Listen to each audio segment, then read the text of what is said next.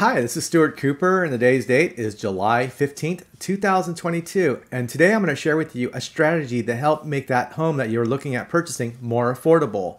Now, let's face it, over the last couple years, we've seen we've seen home values increase, we've seen interest rates raise dramatically, and so the affordability of buying a home has gone up quite a bit. So today I'm going to share with you a strategy on how you can combat that and get your payment lower. So let's go ahead and get started on this.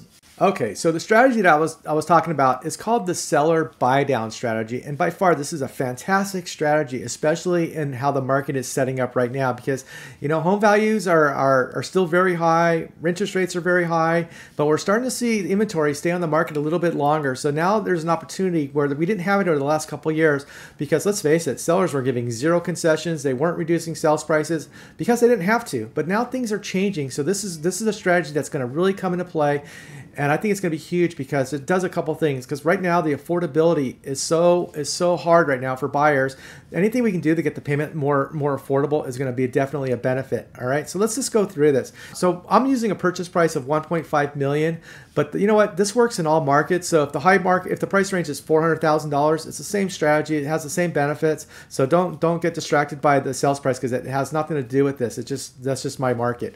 So what we're going to do is I'm going to walk you through this, and it's going to become really apparent in a minute. So we're going to say your typical purchase price, right, in this area is about 1.5 million, 20% down, and the loan amount's 1.2 million dollars. Current interest rate's 4.625%, which gives you a total mortgage payment of principal, interest, taxes, and insurance of 7,919.67 So that's based on a 1.5 million dollar purchase without asking for any kind of concessions or sales price reduction. Typically what you see when houses have been on the market for a while, you might see the, the seller reduce the sales price. And so in this illustration, what I did is I took a, I took a price reduction of $24,000 and everything else stays the same, 20% down. Loan amount's a little bit lower, interest rate's the same, payments $7,792.96. So it's a savings of roughly about $126 a month over the full asking price. So that little bit of a concession helps a little bit, but you can see um, not dramatic, right? $126 on a $7,900 payment is not is not huge,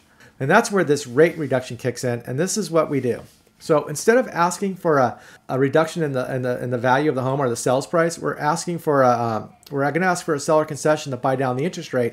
So what we're going to do here is I we leave the purchase price alone, 20% down. The loan amount's still going to be 1.2 million dollars. But now the interest rate is now 3.875. So it's a full three quarters of a point lower. And the benefit of that is going to become very apparent real quickly. So now the payment drops down to $7,392.84. So that's your total principal interest tax insurance payment. But look at the takeaway. So when you when you went with the simple price reduction, you were saving $126 off for full price. Or with this strategy, you're saving 526 83 or about $400 additional savings just because uh, by even though you're paying the full price for the house, the interest rate is so huge that it's, it's actually lowering your monthly payment by an additional $400. So that's the big takeaway. It, it, it makes it more affordable to buy that property.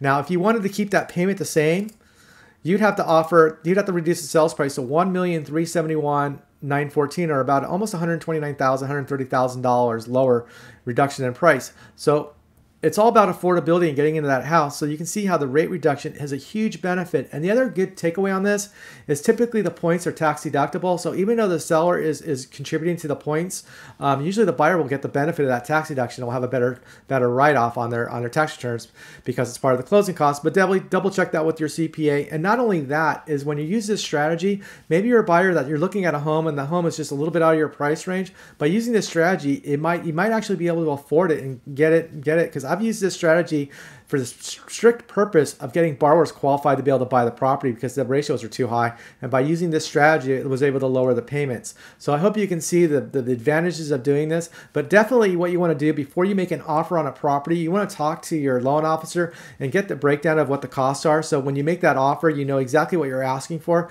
because you don't want to go in this blindly. You want to know exactly what buying the rate is going to cost and how much you are so you know how much to ask for if you decide to use this strategy. And of course, if you have any comments or anything, feel free to reach out to me. I'd love to help you and answer any questions you have. But do me a huge favor. If you like this content, please subscribe to my channel. I'd really appreciate it. All right. Hope, hope you guys have a great week. Thank you.